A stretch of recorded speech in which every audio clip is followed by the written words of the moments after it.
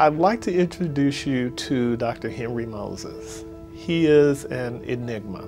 Well, my first impression of Dr. Moses, and it persists to this day, is I've never met anyone with a memory like his. So many words can be used to describe him. Um, pioneer, doctor, teacher, mentor, um, philanthropist. Um, he's everything. He's very genuine and very caring. And at the end of the day, he's concerned about you as a person and your development. Dr. Moses is one of the most selfless people. It's kind of tough to put it in one sentence, but he's, he's, he's just that. He's just like a, he's a living legend, I would say. Initially in 1986, I came to interview at Meharry for medical school. And during the interview process, I met Dr. Moses. And after a very long conversation with me, he, he told me something that uh, really changed my career. He said, you, you are very unique and you seem to me to be more of a scientist rather than a physician. I obtained my PhD in neurophysiology from Meharry Medical College. I'm currently Senior Vice President and Global Head of Regulatory Affairs for Axovant Neurosciences.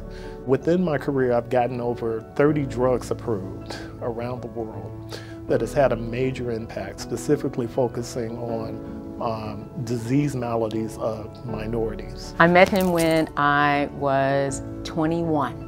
He was my biochemistry instructor. And during that time, Fisk and Meharry had a great partnership. I came to Nashville for the first time in the summer of 96 to participate in a joint program with Fisk and Meharry. And I remember walking into this biochemistry class and seeing this gentleman standing at the front with a high-pitched voice and some suspenders.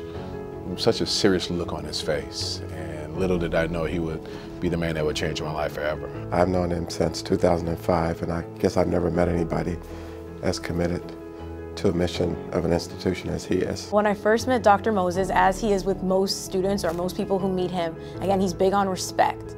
So he makes sure that when you enter his office, he's going to respect you and he accepts he expects that same respect in return.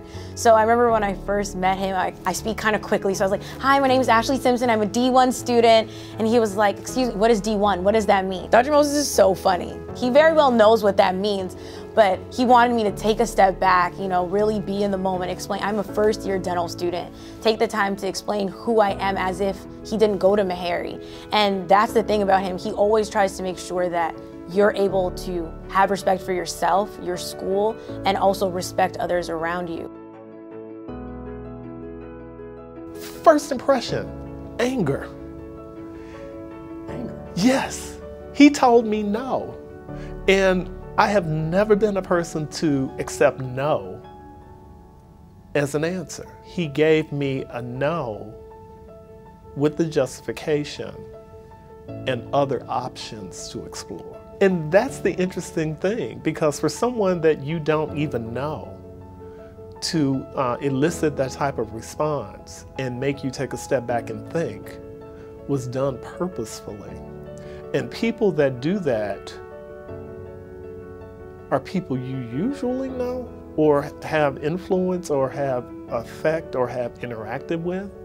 This was my first interaction. He walked in and his reputation already had preceded him because we got told by the older students uh, who he was and, and how to act. He walked in class with his white coat on and a stick of chalk and he began lecturing. Well, we had a exam and he was reviewing for the exam.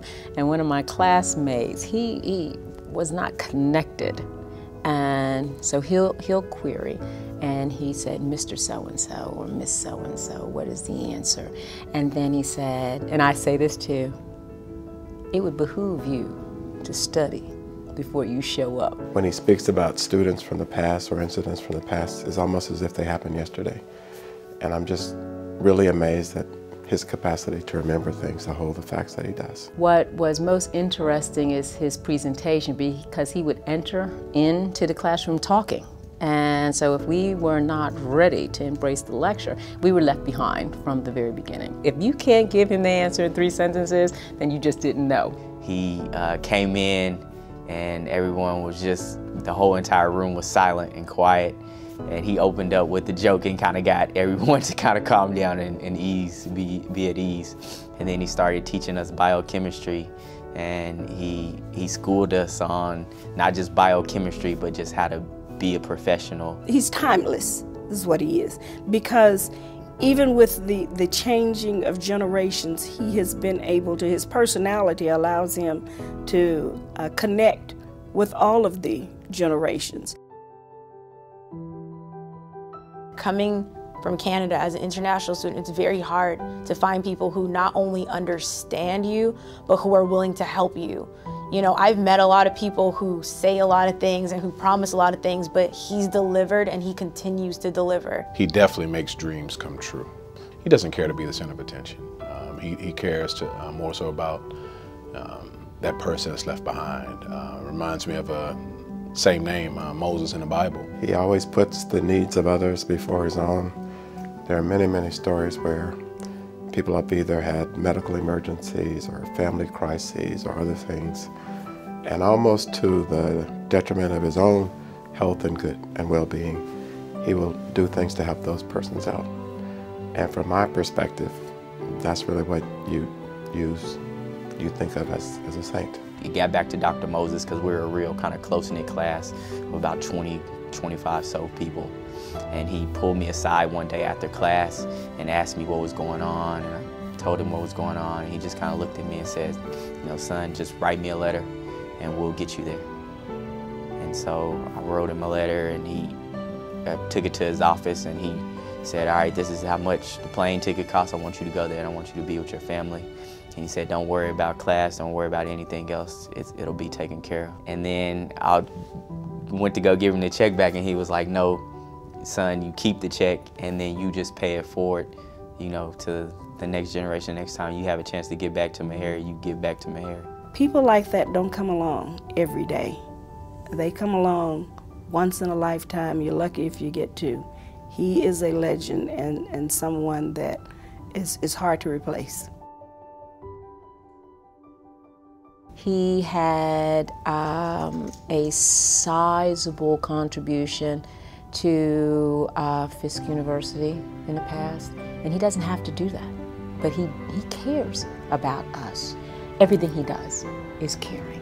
Our students have to travel, fourth year students, to visit many places to interview for residencies, and oftentimes they don't have the funds needed to pay for those trips. And I know for a fact that Dr. Moses has helped many, many of them meet that need by helping them pay for their travel and their lodging on these interview trips. And he's been doing that for a really long time. Not to mention the, the fact that he's one of the few persons or friends at the college who's given a million dollars or more.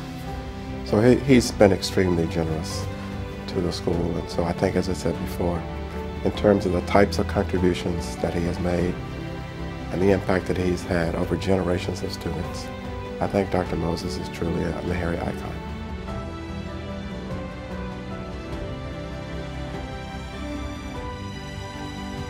You know, my mom says like she can't wait for my graduation because she can't wait to meet Dr. Moses. Not even to see me graduate, but she's like, I want to meet Dr. Moses because, you know, he's just done so much for me personally and has really taken me on like as if I was one of his own children, honestly.